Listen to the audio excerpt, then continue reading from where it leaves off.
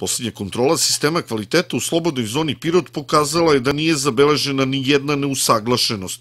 To praktično znači da slobodna zona Pirot nastavlja sa primjenom najnovijih verzija standarda u pogledu kvaliteta pružanja usluga, brige o životnoj sredini, zdravlja svojih zaposlenih i bezbednosti na radu.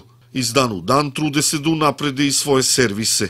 Mi dalje usavršavamo naše servise, spremamo se za neke nove, pokušavamo da našim korisnicima budemo najbolja podrška i pomoć u njihovom glavnim poslovima koje rade i to je ono što je najvažnije.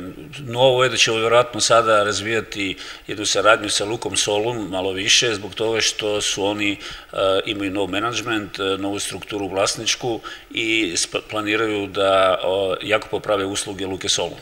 To verujem da će našim korisnicima dosta značiti. Mi sada radimo sa Lukom Burgas i Varna na Crnom moru, ali imat ćemo sad jednu mogućnost za bolje servise preko Luke Solum.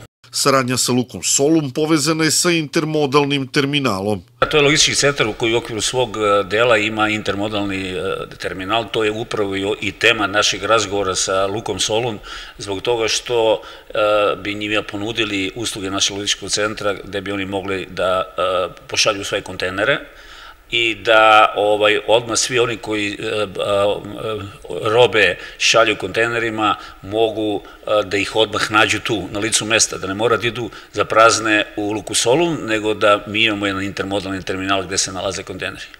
Budući logistički centar direktno će biti povezan preko petlje Pirot-Zapad na koridor 10. Sada se već vidi da je petlja zapad skoro gotova i ulaz u industrijski park, slobodnu zonu i naš novi logistički centar koji će biti verovatno za neku godinu urađen je, će biti veoma olakšan.